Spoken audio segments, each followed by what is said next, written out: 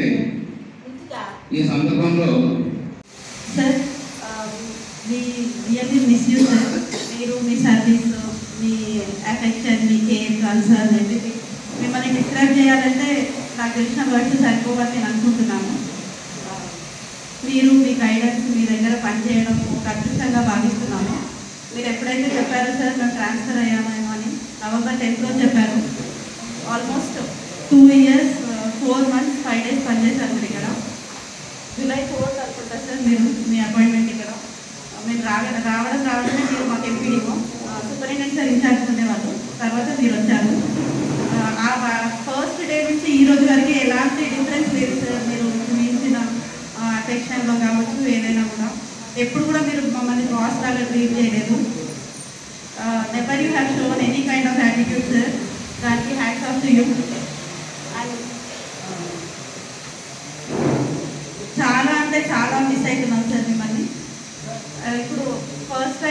కొత్తపేటలో సార్ మా ఇన్స్పెక్షన్ ఇచ్చారు మా విలేజ్ని.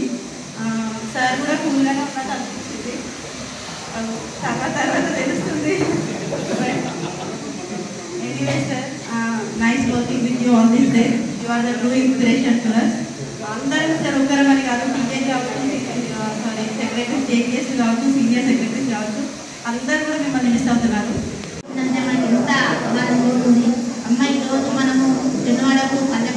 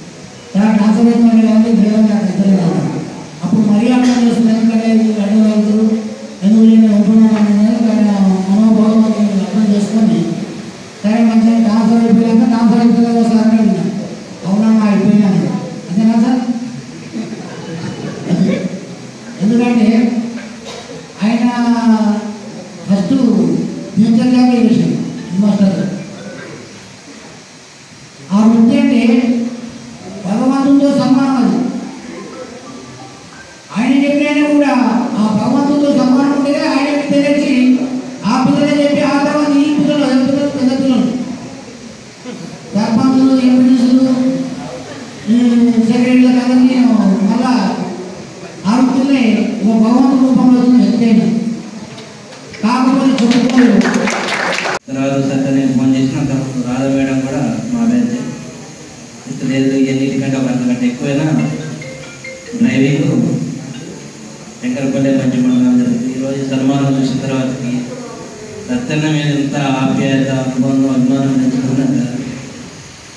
మూడేళ్ళు చేసినా కానీ మర్చిపడలేకపోతుందని అనుకుంది నాకు ఎందుకంటే రెండు విరుసులు రెండు చక్రాలు లాంటి ప్రజాప్రతినిధులు అధికారులు ఈ మండల వ్యవస్థలో. ఏ ఒక్కరు కొందరికి ఇబ్బంది అయినా మొత్తానికి ఇబ్బంది ఉంటుంది. అట్లాంటి వాతావరణం ఇక్కడ లేదు కాబట్టి అంత మంచి వాతావరణం కాబట్టి నాకు చాలా గర్వపడుతుంది దత్తన నీకేం తెలుసు మా మండలాల బాధలు అధ్యక్షుడు ఉన్నావు హైదరాబాద్ రమ్మంటే రావు రిప్రజెంటేషన్ ఏమంటే ఇవ్వండి నీకేం తెలుసు? నువ్వు ఆయన చొప్పున హైదరాబాద్ ఉన్నావు. మా పాత్ర మాత్రం నేను ఒకసారి కోపడ్డ బాగా మరి ఆధారంగా మన జీవితాలు కూడా ఇంపార్టెంటే కదా. నువ్వు అధ్యక్షుడు కావాలంటే నీకు తెలియదు నాకు ఇక్కడికి వచ్చిన వారం రోజులు నాకు తెలిసిపోయింది. ఎంత ఇబ్బంది పడుతుంది. ఇబ్బంది ఫీల్డ్ అనేది. అప్పుడు కొద్దిగా కోపడ్డదు సారీ అన్న. ఏది ఏమైనా సత్యన లాంటి అధికారి ఒక మండలం ఉండటం అనేది ఆ పోస్ట్కి ఆ మండలానికి ఆ యొక్క ప్రాంతానికి కూడా చాలా గర్వకారణం. వారు వికారాబాద్ కూడా ఇదే పేరు దృష్టి తెచ్చుకోవాలని కోరుకుంటూ వారికి ఆయురారోగ్యాలు భగవంతుడు ప్రసాదించాలని వారి కుటుంబం ఆయురారోగ్యం పొందాలని కోరుకుంటూ థ్యాంక్ యూ అండి అంటే ఉద్యోగం యొక్క ఇప్పుడు అంటే మేము పద్నాలుగు ఏళ్ళ లిమిట్ మాతో పాటు పనిచేసిన వాళ్ళంతా డిస్టిక్ ఆఫీసర్లు స్టేట్ ఆఫీసర్లు అయ్యారు ఎందుకు ఆ ఉద్యోగాలు అనిపిస్తున్నాం మాకు. మాతో పాటు చదువుకున్న వాళ్ళు మాతో పాటు ఉద్యోగాలు వచ్చిన వాళ్ళు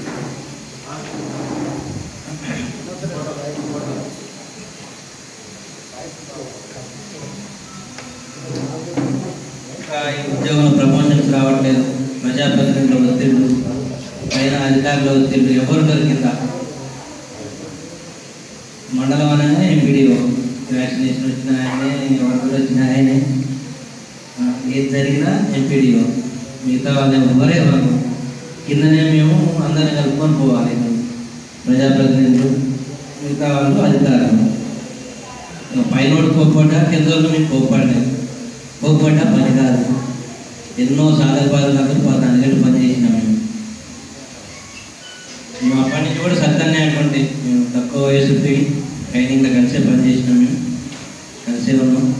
ట్రైనింగ్ కూడా ఆంధ్ర చేసాం ట్రైనింగ్లో బాగా ఎంజాయ్ చేసినాం. తర్వాత ఉద్యోగానికి చాలా బాధపడ్డాం కానీ అప్పటి నుంచి కూడా మేము సత్యనే పిలుస్తాం. ఒకసారి మీరు అంటే నేను చక్కెరపల్లి వద్దాం అనుకున్నప్పుడు దత్తనే చెప్పి మంచిగా ఉంటుందిరా యాక్చువల్గా ఈ గవర్నమెంట్ వచ్చిన దగ్గర నుంచి ఇద్దరు మంత్రుల దగ్గర పనిచేసింది. మరి ఫీల్డ్కి పోదామంటే మరి ఫీల్డ్ లేకుంటే కూడా ఆడేదో అంతా ఆర్టిఫిషియల్ హైదరాబాద్ అంతా ఆర్టిఫిషియల్ పనిచేసినట్టు ఉంటుండే మరి కొన్ని రోజులు పనిచేద్దామన్న ఉద్దేశంతో రావడం జరిగింది. అట్లాంటప్పుడు నాకు హైదరాబాద్ ఖాళీ అవుతుంది హైదరాబాద్ కోసం యాక్టివ్గా రిలీవ్ అయ్యాడు నేను.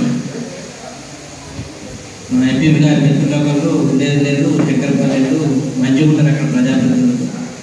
ఎంపీ గారు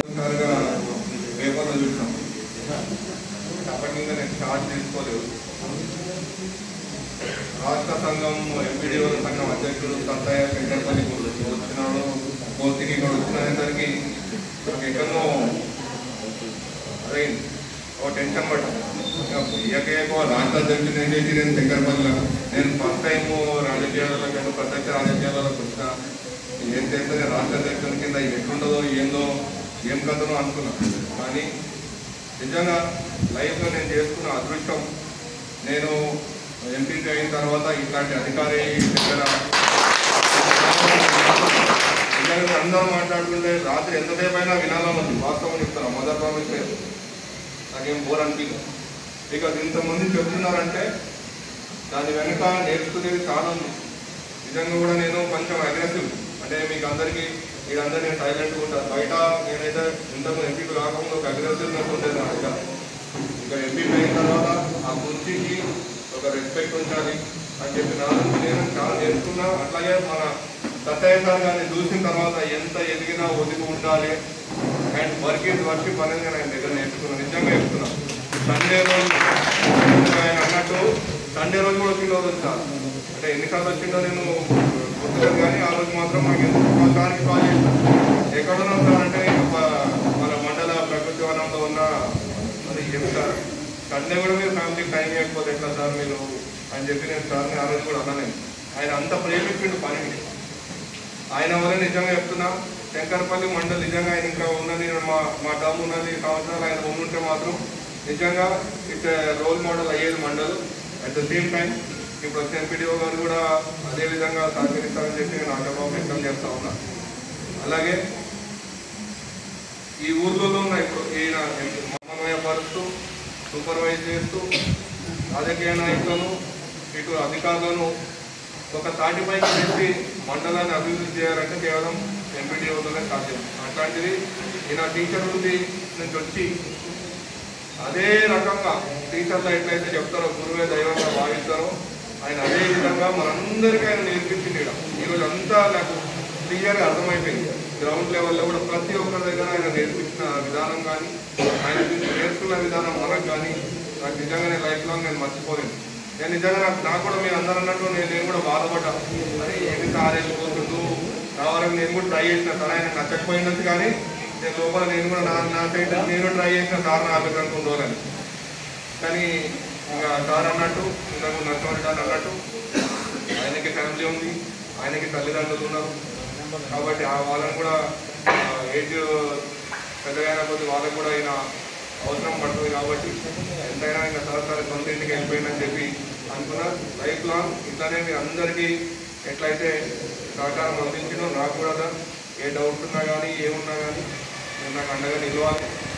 నాకు ఇది లైఫ్ లాంగ్ కంటిన్యూ అయ్యే బంధం మనది ఎందుకంటే ఫస్ట్ టైం నేను ఇంతకుముందు కూడా ఎంపీడీఓ గురించి నేను కూడా చూస్తుంటే బట్ ఈ కోఆర్డినేషన్ అనేది ఎక్కడ ఉండకపోయేది. రాజకీయ నాయకులకి అధికారులు మీరు వచ్చిన తర్వాత ఈ ఎంటైర్ నాకు గవర్నమెంట్ ఆఫీస్ మీదే కానీ నేను నేను రెండు- నాకు రెండు నచ్చమైనట్టు ఒక బ్యాంకు గవర్నమెంట్ ఆఫీస్. నాకు నచ్చకపోయేది ఎప్పటి కానీ ఈ యొక్క డిపార్ట్మెంట్ నేను చూసిన తర్వాత అన్ని డిపార్ట్మెంట్స్ ఒకటి కాదు కొన్ని డిపార్ట్మెంట్స్ నిజంగా హ్యాట్స్ ఆఫ్ చెప్పాల్సిన డిపార్ట్మెంట్స్ అంటే పెద్దన్న అట్లనే ఆ స్థానాన్ని పూర్తి చేస్తున్నటువంటి అమ్మ జడ్పీటీసీ గోవిందమ్మ గోపాల్ రెడ్డి గారు అలాగే వైఎస్ ఎంపీపీ రామలమ్మ గారు మరియు జిల్లా సర్పంచుల సంఘం అధ్యక్షులు రవీందర్ గౌడ్ గారు మరియు మా ఎంపీఓ గారు అట్లాగే ఇక్కడ నా స్థానాన్ని భర్తీ చేయడానికి వచ్చినటువంటి మా వెంకి అంటే మా బ్యాచ్లో వెంకటేష్ అంటే క్రేజ్ సినిమాలో. మా బ్యాచ్లో యంగ్ రాధా అండ్ వెంకి ఇద్దరే యంగెస్ట్ అన్నమాట. జస్ట్ వాళ్ళు పాస్ అవుట్ కాగానే జాబ్ వచ్చింది. అట్లాంటి ఆప్తుడు సోదరుడు వెంకి. మరియు ఈ శంకర్పల్లి మండల సర్పంచుల సంఘం అధ్యక్షులు పెద్దలు నరసింహారెడ్డి గారు. మరియు గౌరవ ఎంపీటీసీలు గౌరవ సర్పంచ్లు అలాగే పత్రికా మిత్రులు మరియు సెక్రటరీలు అందరూ వాళ్ళు జేపీఎస్ అండ్ సీనియర్ సెక్రటరీ అట్లాగే ఐకేపీ సిబ్బంది మరియు ఈజీఎస్ సిబ్బంది ఏపీఓ ఏపీఎం టెక్నికల్ అసిస్టెంట్స్. అందరికీ సాయంకాల నమస్కారం ఇక్కడ దిస్ ఇస్ సెకండ్ టైం అంటే నాకు ఫేర్వెల్ జరగడం ఎంపీడీఓ అయినాక ఫస్ట్ టైం బంటారంలో జరిగింది. వికారాబాద్లో ఫార్మల్గా జరిగింది. కానీ బంటవారంలో ఫేర్వెల్ జరిగినప్పుడు ఇట్లనే నేను అక్కడ ఎయిట్ ఇయర్స్ పనిచేశాను actually it was Karnataka border Karnataka బార్డరే అంటే లాస్ట్ విలేజ్కి వెళ్తే మూడు కిలోమీటర్లు వెళ్తే కుంచారం విలేజ్ వస్తుంది. దానికి ఏం ప్రత్యేకత అంటే మద్యపాన నిషేధంలో మరపల్లి బంట్వారం పెద్దేములు తాండూరు బషీరాబాద్. ఆ బెల్ట్ మొత్తము నాలుగు కాగానే అందరు పరిగెత్తేటోళ్ళు అనమాట ఎందుకంటే సమగ్ర కుటుంబ సర్వే. ఒకటే రోజు అయిపోవాలి. ఒకటే రోజు అయిపోవాలి ఎవరికి ట్రైనింగ్ లేదు ఫామ్ తెలియదు ఏం తెలియదు అందరినీ అక్కడ వచ్చిన ఎంఆర్ఓ కొత్త అతను. సరిగ్గా ఎక్స్పీరియన్స్ లేదు. మండలం అంతా నా మీద పడ్డది. అయితే ఏమైందంటే డ్యూటీ అలాట్మెంట్ చేసిన తర్వాత ఎంఆర్ఓ గారు టీచర్లు అందరినీ ఇంక్లూడ్ చేసాం టీచర్ టీచర్లను ఇంక్లూడ్ చేసినాక కూడా పక్క పడుతుంది. ఎందుకంటే అన్ని జీపీలు కావాలి కదా. ప్రతి ఊరికి టీమ్ వేసాం వేసిన తర్వాత అయితే అలర్ట్ చేసినాం. పొద్దున కరెక్ట్గా సెవెన్త్ రెడీ అయ్యి సెవెంత్ అయితే మళ్ళీ సెవెన్ వరకు అయిపోవాలి. అన్ని కలెక్ట్ చేసుకోవాలని ప్లాన్ చేసుకున్నాము. అంతా నేనే వేసాను ఎంఆర్ఓ గారికి ఏం తెలియదు కాబట్టి సరే.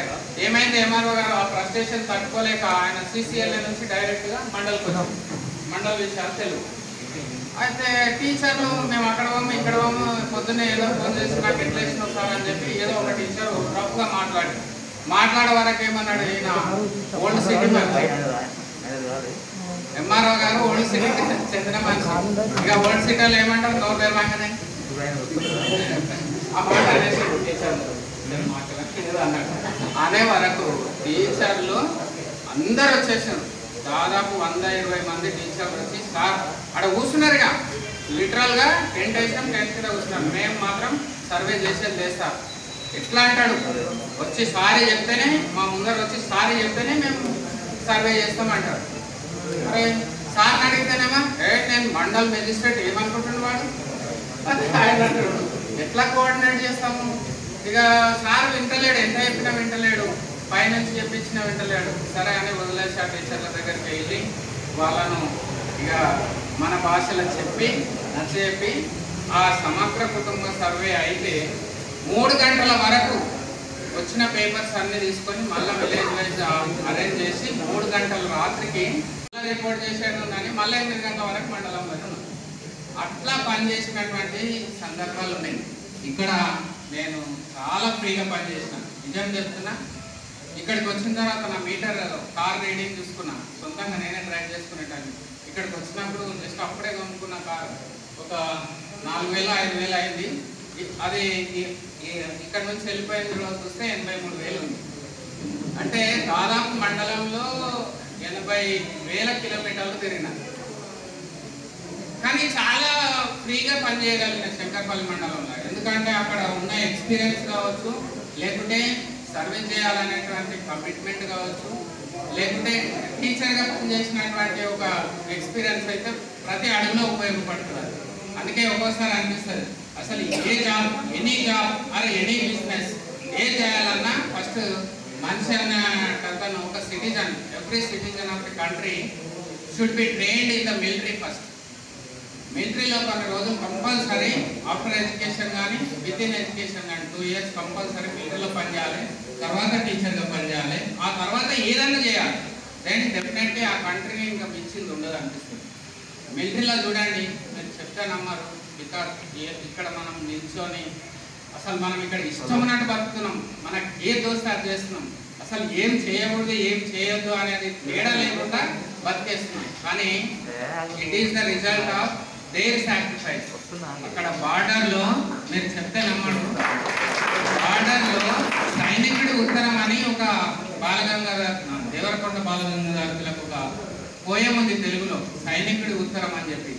ఆ ఆ ఉత్తరం చదివితే ఆ బార్డర్లో ఆ సైనికుడు మన కోసం ఎంత కష్టపడుతుందో బ్రతికినన్ని రోజులు అర్థమవుతుంది ఇది చూడండి భారతదేశాన్ని బ్రిటిష్ వాళ్ళు దాదాపు రెండు వందల ఏళ్ళు క్రష్ చేసేసారు ఇక్కడ ఉన్న సంపదనంతా దోచుకపోయిండ్రు ఇక్కడ ఉన్నటువంటి ప్రతి వ్యక్తిని బాధ పెట్టిండ్రు ప్రతి ఫ్యామిలీ యొక్క రక్తాన్ని పీల్చేసిండ్రు. ఇట్ ఈస్ బికాస్ ఆఫ్ మనకు దేశభక్తి లేకపోవడం వల్ల. ఆ రోజు కూడా ఈ రోజే కాదు ఆ రోజు కూడా లేదు. అది సాధ్యమైందంటే బికాస్ ఆఫ్ దేర్ ప్యాట్రియాటిజం అంతే వేరేది ఏం లేదు. వాళ్ళు మనకన్నా ఏ దాంట్లో కూడా బలవంతులు కాదు మనం దేంట్లో కూడా తక్కువ కాదు. దానికి ఒకటే ఉదాహరణ చెప్తాను అయితే ఏమైందంటే బ్రిటిష్ వాళ్ళు భారతదేశాన్ని ఆక్రమించే క్రమంలో బెంగాల్లో వాళ్ళు ఒక విలియం కోటాన్ని నిర్మిస్తారు. దోచుకున్నటువంటి సంపదను ప్లాసీ యుద్ధంలో బెంగాల్ గెలుచుకున్నాక బెంగాల్ యొక్క దివానీ నిజామాబాద్ అధికారాలు వచ్చిన తర్వాత వచ్చిన సంపదనంతా తీసుకుపోయి వాళ్ళ దాకా అక్కడ నుంచి ఆ పడవలలో రెండు వందల పడవలలో బంగారం వెండి మన సంపదనంతా లండన్ తీసుకుపోతారు. అయితే తర్వాత వచ్చినటువంటి తమ్ముడికి హిస్టరీ చదివిన బాగా తెలుస్తుంది అయితే క్లాస్ యుద్ధం తర్వాత బక్సర్ యుద్ధంలో మీర్ కాసిం వచ్చి చాలా తెలివైనడు.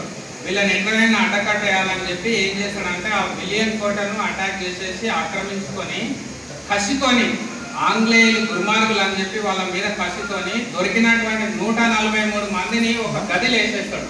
చిన్న రూము ఆ రూమ్లో కుక్కేస్తాడు. డోర్ లాక్ చేసేస్తాడు. తెల్లారి చూస్తే ఇరవై మూడు మంది మిగులుతారు అందరూ చచ్చిపోతారు. మొత్తం ఆంగ్లేయులు నూట ఇరవై మంది చనిపోతారు. అయితే ఆ బాధ రాబర్ట్ క్లైవ్ను పిలిపిస్తారు అది సెటిల్ చేయడానికి.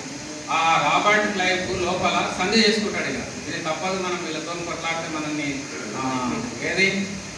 ఇక్కడ నుంచి ఎలగొడతారని చెప్పి భారతీయ రాష్ట్రం సంధి చేసుకొని బక్సర్ యుద్ధం తర్వాత సంధి అయినాక ఆ కోపాన్ని లోపల పెట్టుకుంటాడు. నా దేశస్తుని నా సోదరులను చంపిండనే కోపాన్ని లోపల పెట్టుకొని మొత్తం బెంగాల్ అంతా తర్వాత తర్వాత క్రమంగా ఆక్రమించి బెంగాల్ని మొత్తం పీల్చి పిప్పి చేస్తాడు అనమాట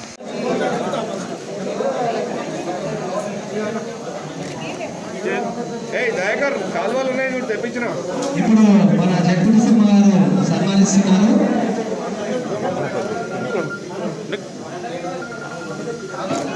మన జడ్పీ